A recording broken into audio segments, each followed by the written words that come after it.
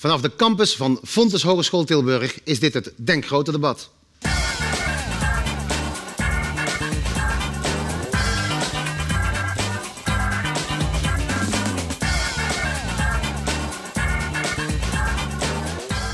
Speco, Sport en Media, Fontes in Tilburg.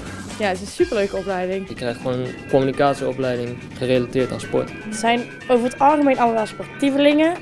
Vooral doeners, niet zoveel denkers. Mijn wens is om eh, de nieuwe Tom Egberts te worden. Ik denk dat ik wel het liefst in de voetballerij zou willen werken. Nee, geld is daarin niet belangrijk. Het is niet heel super moeilijk, maar u moet er gewoon natuurlijk wel wat voor doen. Daar gaan we voor. Ze speelde 227 hockeyinterlands, was de captain van het team dat wereldkampioen wordt en brons, zilver en goud haalde op de Olympische Spelen. Ze was de beste hockeyster van de wereld, Minke Boy.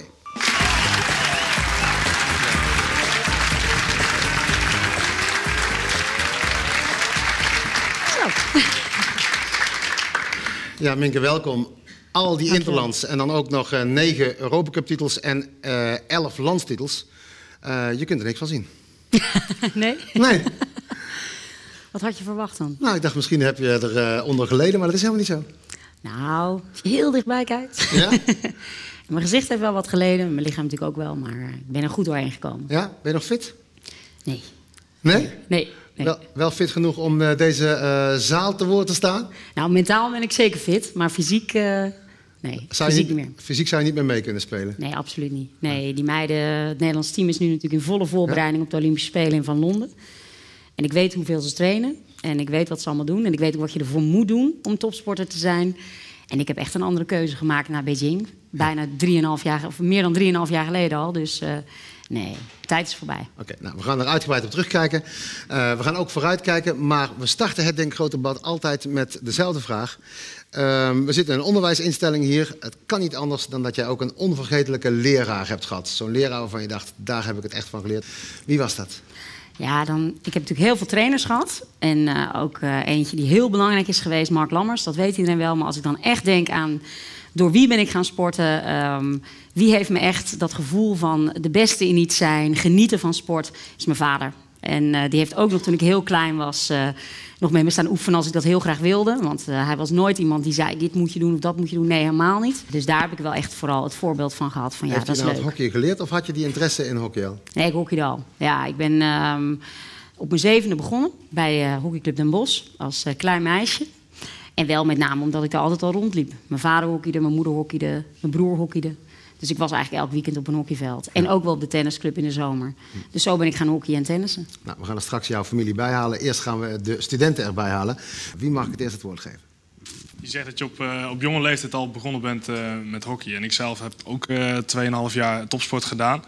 Alleen ik ben toen geveld door een blessure. En ik kwam er op jonge leeftijd eigenlijk al achter dat het eh, heel fijn is om ook gewoon een sociaal leven te hebben op die leeftijd. Heb je daar nooit spijt van gehad? Nee, kijk, het grote voordeel... Ik weet niet welke sport jij deed. Basketbal. Basketbal. Dat Nou kon je ja, wel goed, zien of niet? Ja, dat, ja, je zou het wel ver- verwachten.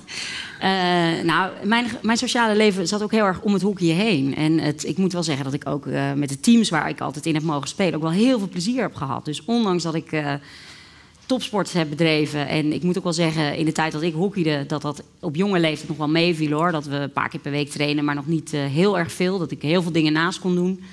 School, maar ook vriendjes, vriendinnetjes.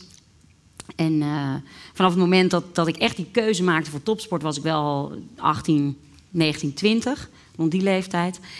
En het is helemaal waard geweest. En dan nog heb ik hele leuke dingen ook daarnaast gedaan. En soms eh, moet je ook keuzes maken.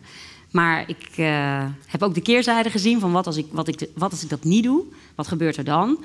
Toen vond ik wel andere dingen belangrijk. Eh, feestjes, uitgaan, hè, wat heel logisch is eh, op een bepaalde leeftijd. En toen heb ik ook ingezien, nee, dat is heel leuk, maar dat kan altijd nog. En hockeyen kan straks nooit meer. Dus ik, ben, ik wil daar echt voor gaan. En toen heb ik heel bewust die keuze gemaakt en eh, daar heb ik nooit spijt van gehad. Wat ik wel mooi vind is dat je zegt dat, je, dat jij eigenlijk eh, ziet dat je eh, een gelukkige kant van het leven hebt leren kennen door die blessure. In die zin ben je nooit echt geveld. Nee, ik heb wel, daarom zei ik, ik heb wel wat geleden. Ik heb vooral ongelukjes gehad. Eh, ballen in mijn gezicht, stiks in mijn gezicht, gebroken vingers. Vooral dat soort eh, mankementen.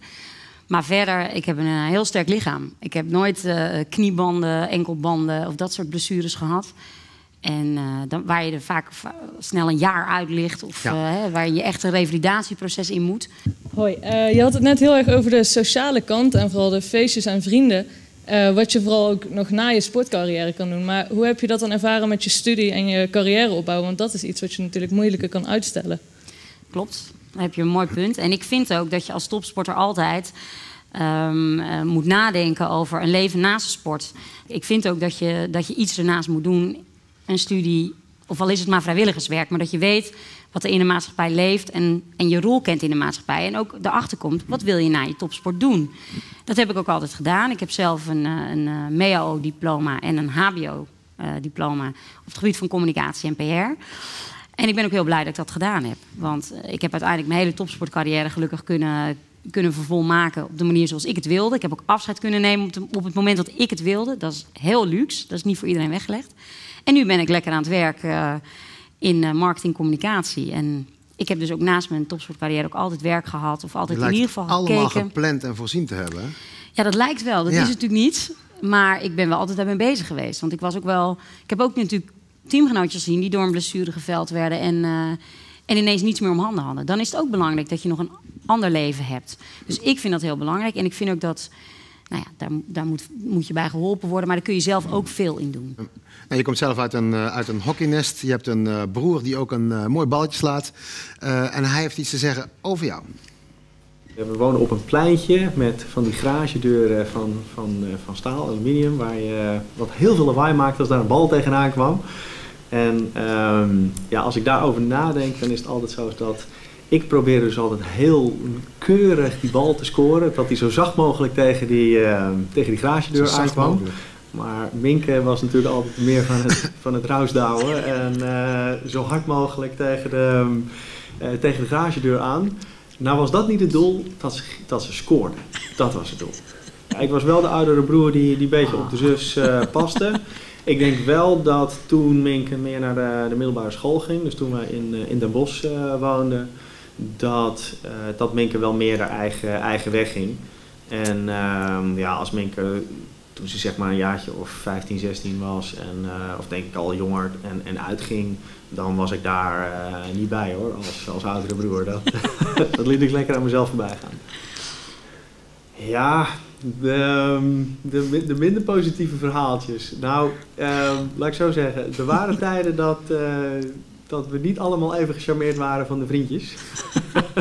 Ehm, en eh, ja, goed, en dat, ehm, daar heeft er ook wel meerdere van, eh, van gehad. En bedankt, grote broer. Ja, zo is hij dan ook alweer, hè? Ja. Nou, hij, heeft, hij heeft echt heel lang nagedacht over één ding wat hij kon zeggen. Zei, nou, daar spreekt ze dan misschien nog eh, in het oog in de minst positieve zin. Eh, en niet altijd enthousiast over de vriendjes en nogal wat. Nou, we hadden twee hockeyclubs in Den Bosch. Den Bosch en Mop, wat in de Vught ligt, vlakbij. En ik was nogal geneigd om altijd de jongens van Mop uit te kiezen die ik leuk vond. En dat was natuurlijk een grote concurrentiestrijd. was En mijn broer moest daar tegen hockeyen. Dus die zag dat nooit zo zitten. En die dacht dan nou... Oh, met foute vriendjes bedoelde hij dat ze aan de verkeerde club waren? Ja, ze waren gewoon Oh, verkeerd. dan En dan had hij dat mee te maken in het veld. En dat vond hij niet zo leuk. Nee, maar en mijn broer en ik zijn, zijn een beetje anders. In de zin van dat mijn broer altijd inderdaad als heel netjes en subtiel. Mijn broer kon echt heel goed hockeyen. Vooral in de jeugdhal. Was beter, hè? Nou, die viel vooral op door zijn grote hockeytalent. Hm. En ik viel vooral op door mijn, eh, ja, door mijn winnaarsmentaliteit. En, en altijd willen winnen. Al toen ik zeven jaar oud was. Ja. Eh, zeven jaar, veertien jaar stond je, eh, debuteerde je in, in het eerste. Klopt. Ehm, en toen jij 18 was, stierf je moeder. Jullie hebben toch een beetje als een hockeyfamilie geleefd. Ja. Dat moet dus een geweldige impact hebben gehad op jou. Ja, vreselijk. Ja. Ja, mijn moeder die bracht me naar elke training. Mijn moeder was echt een huisvrouw. Die, eh, die was er helemaal voor de kinderen. En mijn vader werkte heel veel en eh, was er in het weekend ook helemaal voor ons. Maar mijn moeder die, eh, die, die regelde alles thuis. Die liet het allemaal lopen en die, ja, die bracht ons overal naartoe. En die had eten klaar op, op het moment dat het klaar moest. En die, heeft was het mogelijk gemaakt. Echt in teken van ons, ja. En toen zei ze was echt een speel van ons gezin. Ze was ook heel actief op de hockeyclub, deed van alles. Ja, ineens viel ze weg. En dat was, eh, want het gebeurde ook van de een op de andere dag op de hockeyclub. Ja, dus eh, wat dat betreft is mijn band met de hockeyclub ook eh, Ja. enorm. Daar ligt alles. Mijn vreugde, mijn verdriet. Letterlijk, ja. Ja, en ehm, ja, dus dat was wel een heel heftige tijd. Ja, Zo'n 18-jarige die kan dan ook het idee van, van ik, ik hang mijn stick aan de wilgen. Ik wil het allemaal niet meer, maar het kan ook zijn dat elke goal opgedragen wordt aan je moeder. Wat voor type was jij? Ehm, nou, niet dat ik elke goal opdro- opdroeg aan mijn moeder, dat ook weer niet. Maar wel, ehm, nou, ik heb, er zelf, ik, nee, ik heb er uiteindelijk echt zelf voor gekozen. Maar natuurlijk wel in mijn gedachten hoe gaaf zij het had gevonden. Oké.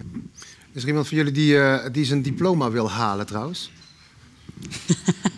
Dat zijn ze- gelukkig. dat zijn ze allemaal. Nou, ik, ik was ook benieuwd naar de overeenkomst tussen, tussen het onderwijs en het transport. Is er iemand die, eh, die zegt van er zijn nog wel wat belemmerende factoren? Ik ben er niet helemaal zeker dat het allemaal goed komt.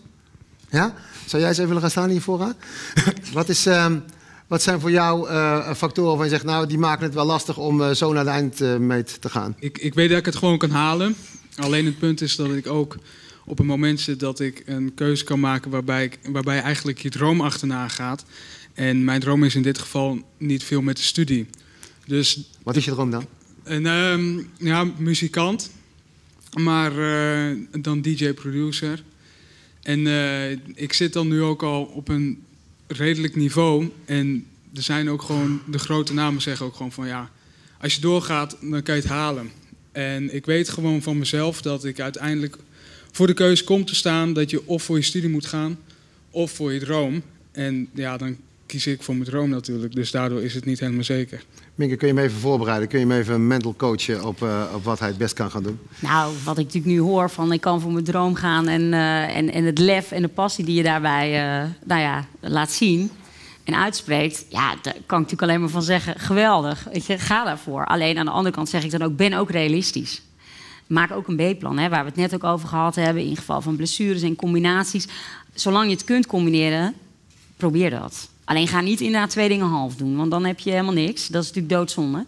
mentaal komt er altijd een moment dat je zegt, ja, nu kan ik het. Dat je gewoon in een dip zit, zeg maar. Dat je zegt van, ja, kan, kan ik het überhaupt wel halen?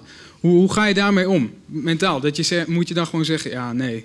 Moet je niet naar luisteren en gewoon doorgaan zoals je gaat? Of, eh, Ja, ja want je Ja. kunt het wel. Ja, want je Ja. kunt het wel. Dus ehm, die negatieve gedachten, zijn die echt waar? Weet je, dat zijn wel dingen die je af kunt vragen. Van, eh, maak ik me dat zelf wijs? Eh, komt het ook doordat ik even niet zo lekker in ben, ik moe en dat soort dingen? Want eh, de angst om iets niet te kunnen heeft vaak een, een, een onderliggende reden waarom dat zo is. Want je kunt het wel. Tuurlijk kun je het. Je kunt alles. Je kunt alles leren, je kunt alles ontwikkelen. Dat weet je zelf ook. Alleen wat is je doel? Hoeveel wil je daarvoor, over, hoeveel wil je daarvoor hè, wat, wat heb je ervoor over om dat te bereiken? En hoe ga je dat doen? En als je dan weer vaak werkt van ik wil dat echt heel graag... en je spreekt dat ook naar jezelf uit... en je gaat je daarop richten en ook vooral gaat richten op de dingen die je wel kunt... dan gaat de rest vanzelf, dan gaat, komt de rest ook wel erachteraan. Ik heb uiteindelijk besloten, ik ga dit doen. Ik ga ervoor, ik ga aan mezelf werken. Ik ga voor die sport, ik ga harder trainen. En dat begint dan wel met vooral de dingen te doen waar je goed in bent. Dat weer te laten zien, daar weer meer vertrouwen in te krijgen.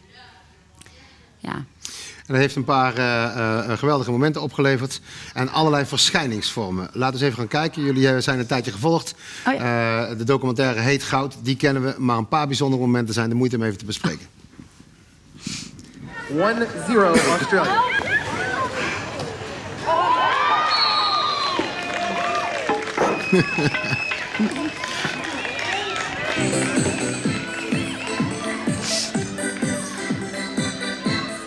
12, Madonna Blythe. Blythe in the Goed zo. 29th minute. Australia 2, Netherlands 0. Goed doel, prima. Jongens, blijf gewoon werken. Ja, dat is goed. Durf een commentaar te leveren. Waarom? Omdat we godverdomme twee goals weggeven. Omdat we gewoon de hele tweede helft te kloten. Ja, en hoe- waarom niet? Omdat er niet geluisterd wordt. we gewoon in aanstellingen Hey, kom. Tent in. Kom, we gaan even de tent in. Even de tent in, jongens. Kom. Even de tent in. Je Ja. zult teamgenoot zijn van jou. Ja, erg hè? Ja, heel Medelijden met die meiden. Wat denk je als je dit ziet? Ja, ze worden bij mij. Ja. En dat wist iedereen en dus hoort het ook bij het team. En dus hoort het ook bij het succes. Of? je kunt dit natuurlijk niet zomaar doen, hè? Als je altijd zo tekeer gaat, dan heb je nog wel wat anders te doen om dit te mogen, zullen we maar zeggen. Dus wat moet je doen om dit te mogen doen? Ja, heel veel krediet opbouwen bij je teamgenoten. En hoe doe je dat? Door altijd hard te werken. Door altijd voorop te gaan in de strijd. Door eh, ook goed te zorgen voor je teamgenoten. eh, dat uit te spreken. Ehm, en gewoon een hele goede relatie met ze op te bouwen. De Olympische gedachte is dat meedoen belangrijker is dan winnen. Ben je het daarmee eens of niet? Ja, dat hangt er vanaf. Eh, wij, Nee. voor ons niet. Voor ons gold dat absoluut niet. Nee. Maar ik kan me heel goed voorstellen als jij in een, eh, eh, ja, in een ander land woont en eh, je zit op een ander niveau. Voor jou is winnen gewoon belangrijker. Ja, maar wij waren in, in hockey zijn we ook gewoon heel goed. En Ja. eh, wij zijn dat, als team dat jullie heel goed waren, dat weten we. Maar dan moet je eens even kijken wat je zelf zegt tegen je team voordat, je de wedstrijd, voordat de wedstrijd begint. Oh jee. Dit is het moment waar je echt van moet genieten. Keihard keihard voor gewerkt. We staan niet verdiend. We knallen en dan gaan we agressie spelen. Dan zijn we sterk vanaf het begin, want zij komen jongens. Zij zijn een ploeg die altijd de eerste 10 minuten er vol voor gaan. En daar moet je even niet van schrikken. En daarna kun je opgeven. Dan moet je wel even doorheen. Jongens, allemaal heel veel plezier. Heel veel succes. Geniet van deze wedstrijd. En dan gaan we hem pakken. Kijk, kom op, jongens. Drie uur uit voor strijd. Schrijf snel weer.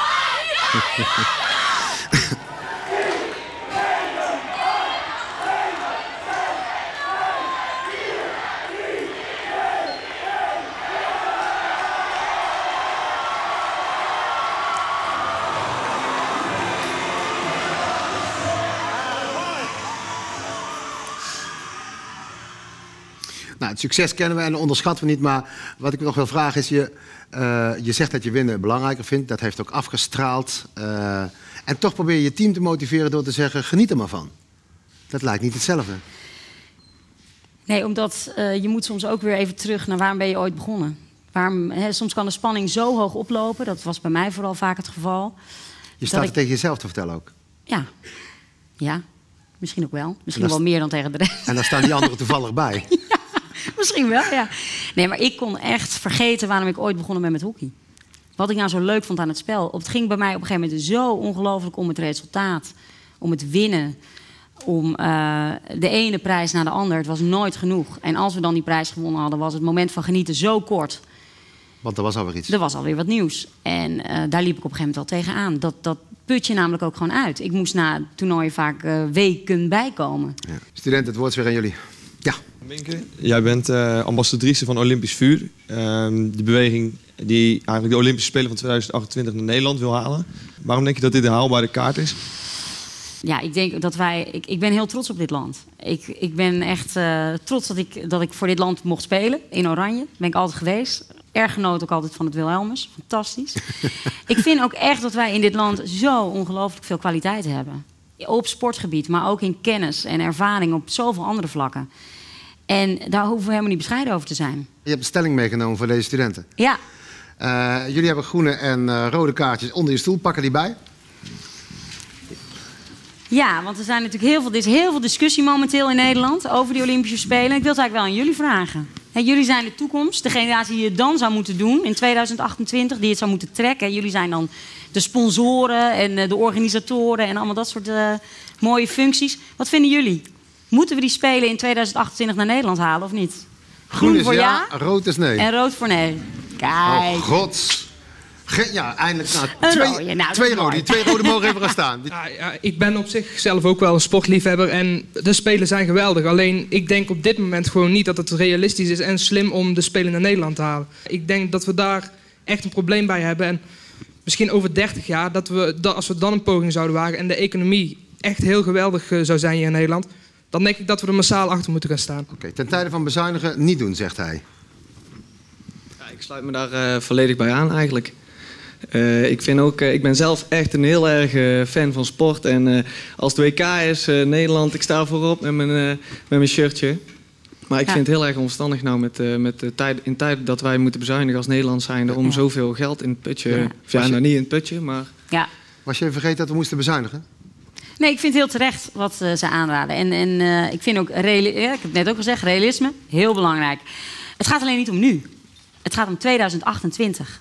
En dat wij zitten nu inderdaad met Nederland in een tijd. En het is ook heel moeilijk om in deze tijd vooruit te kijken. Want we hebben het allemaal al zwaar zat. En het moet vooral, wat heb ik nu te besteden, wat heb ik nu uit te geven. vind ik heel begrijpelijk. We geven alleen nu nog niks uit. Het kost nu nog niets. Het enige wat er nu gebeurt, is dat Olympisch Vuur partijen samenbrengt, hè, waar we het eigenlijk net al over hadden, partijen samenbrengen die investeren in sport. En dat zijn we toch met z'n allen eens, moeten we blijven doen. Ook in crisistijd. We moeten zorgen dat kinderen blijven gimmen. We moeten zorgen dat sportverenigingen uh, er blijven, zodat mensen kunnen sporten. Die investeringen moeten gewoon gedaan worden. Wat het risico is van tijden van crisis, is dat mensen heel erg narrow-minded worden. Alleen maar denken aan het nu.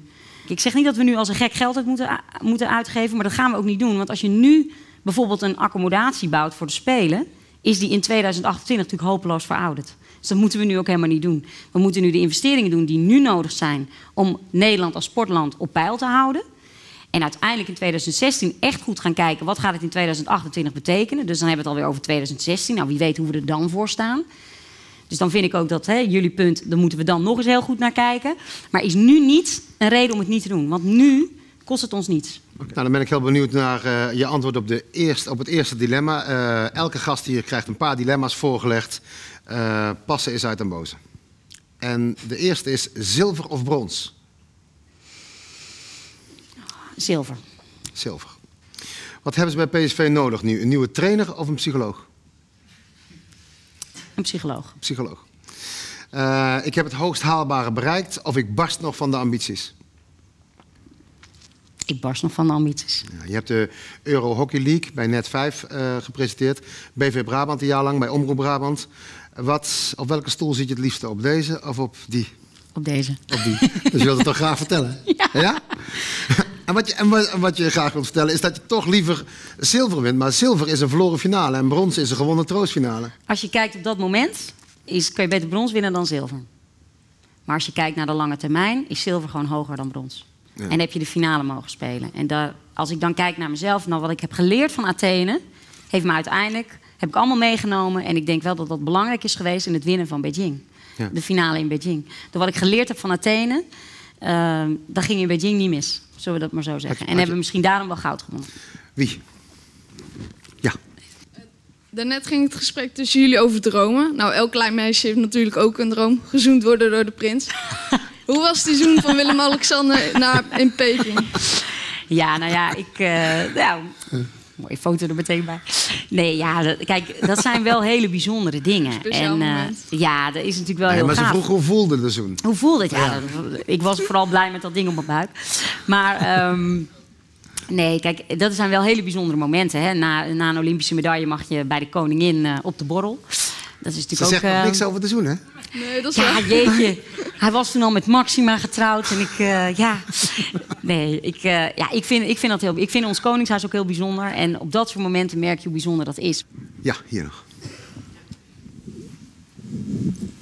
Ja, je gaf aan dat eh, Mark Lammers heel erg belangrijk voor je is geweest in het begin. We zagen net ook even op de beelden.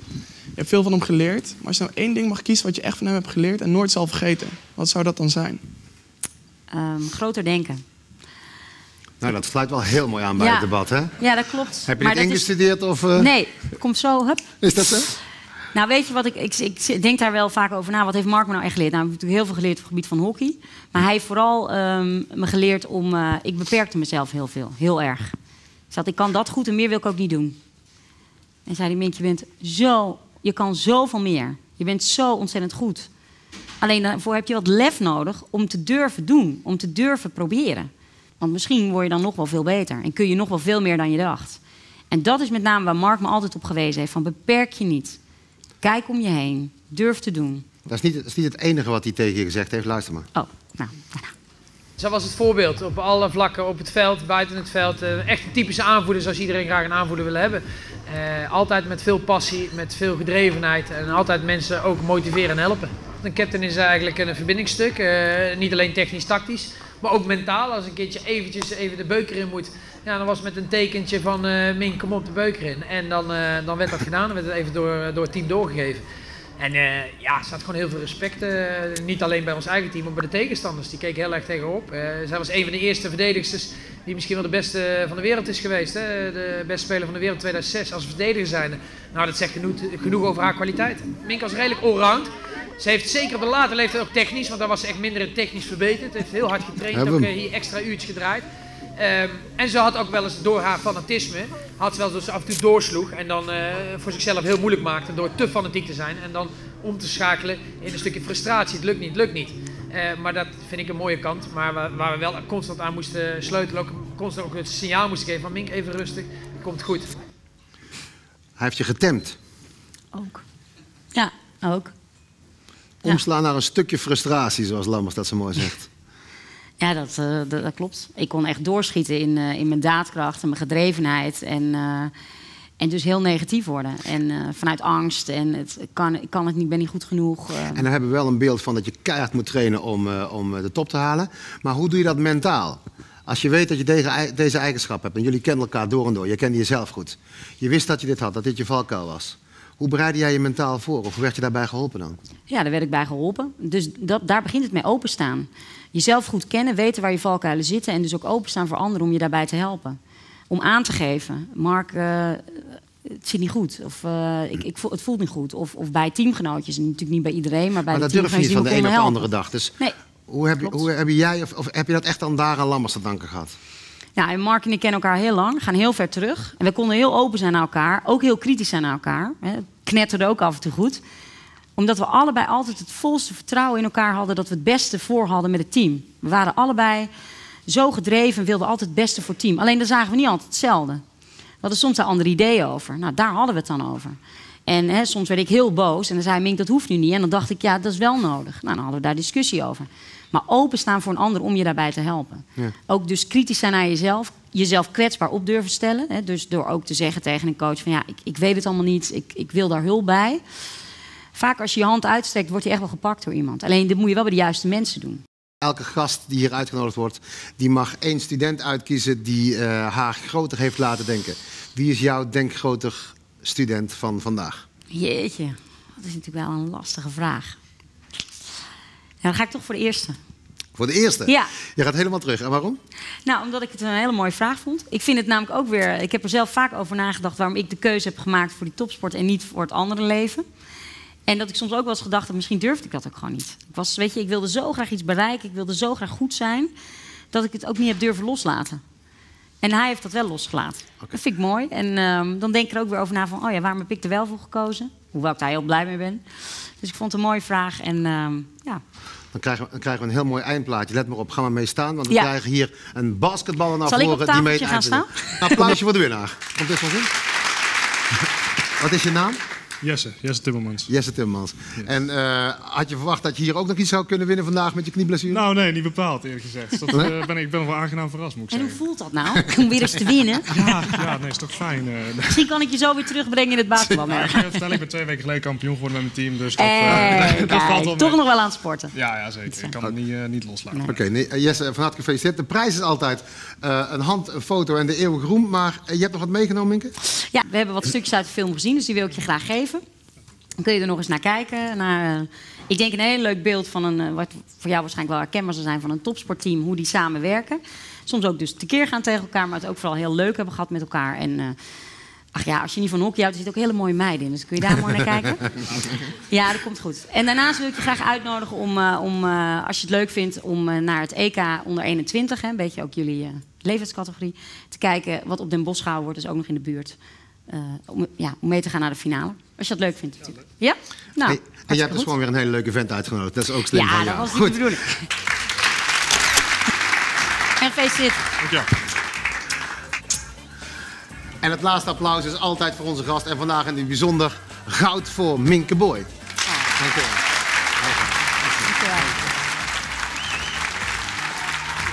Komt dit wel goed?